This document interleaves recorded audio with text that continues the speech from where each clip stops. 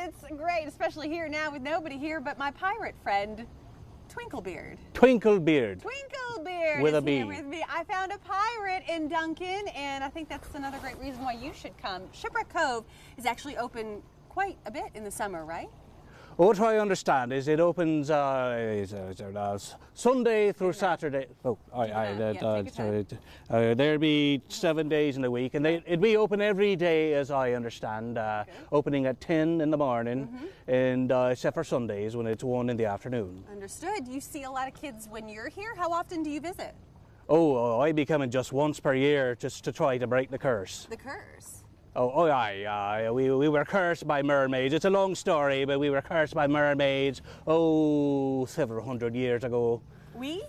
Oh, we, the, the, the other pirates now, they don't be here today because I had a, a one hour reprieve. Oh, good, very good. Shipwreck Cove. It sounds like maybe your ship was wrecked here at one oh, point. Oh, we, we, we were not wrecked ourselves. This is just me where we happen to be cursed too. Cursed too, so you kind of have to hang around. It's where we'd be when we're not floating around in the ether sphere.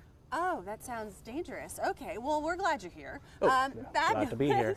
Shipwreck Cove has got a lot going on. Like you said, there's a lot of activities for kiddos, but I- I see almost there's some snacks nearby. Too. Oh, I, I, I'd be very, very fond of the mozzarella bites. Is that one of the, your favorites? Okay, Oh, good. yeah, we didn't have cheese like that uh, a few hundred years ago. A few hundred years. Well, how old are you? Well, let's see, I, I were born uh, 1685, so that make me... Uh, 1685? 16, uh, 23. That's a lot of math.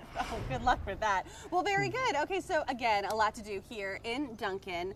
Um, and I'm, I'm hearing a little splashing behind me. Sharks! Whoa. It'd be sharks! Sharks? No, it can't be sharks. Look, Well, I think those are, those look like people. The oddest sharks I ever be seeing. I recognize them, guys. I think that's Foothills Scuba.